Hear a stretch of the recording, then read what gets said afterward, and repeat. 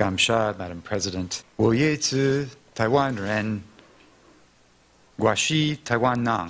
世界民主运动全球大会第十一届今年十月在台湾登场。美国民主基金会会长威尔森表示，执委会一致通过，因为台湾是民主典范与枢纽，也将是全球自由议程的核心。And Taiwan is stepping up to play host.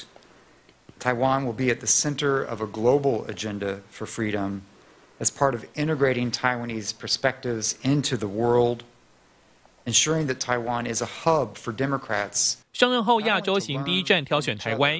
威尔森表示，带来美国人民与台湾站在一起的讯息。十月大会将彰显台湾在全球民主发展的角色与贡献。与会者包括总统蔡英文、美国 NED 的重量级董事，来自数十个国家，几百位公民社会人士、政治人物、国会领袖。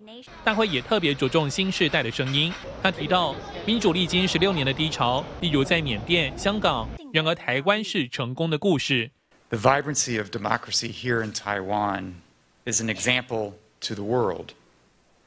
But it also demonstrates, you have demonstrated, international democratic solidarity from Lithuania to Ukraine, from the Afghan people to the people of Hong Kong.